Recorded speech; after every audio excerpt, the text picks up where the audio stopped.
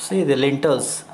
Uh, lintel is a horizontal member which is placed across the opening to support the position of the structure about it. A lintel is thus a sort of beam in which width will be equal to the width of the wall and the ends of which they built into the wall. In general, it should be seen that the bearing of the lintel that is the distance up to which it is inserted in the supporting wall should be minimum on the following three consideration one is 100 mm or second one is height of lintel or the last one is 1 tenth or 1 12th of the span of the lintels. So main objectives of the lintels. To study the terms used in lintel to study the types of lintels to gain the knowledge of on uses of lintels. Classification of lintels. Lintels are classified into following uh, types according to the materials of construction. One is timber lintels second one is stone lintel third one is brick lintels fourth one is steel lintels.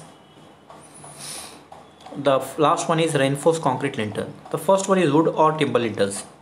These lintels consist of pieces of timber which are placed across the opening these are used in hilly areas or in place where timber is easily available. These are st structurally weak and uh, vulnerable to fire. They are also liable to decay more uh, comparative to the others types. A bearing of about 15 cm to 20 cm should be provided and a minimum thickness about 80 mm should be provided in the case of wooden lintels. So you can see the wooden lintel the elevation as well as section. Second one is the uh, stone lintels. You can see the elevation as well as section for the stone lintel.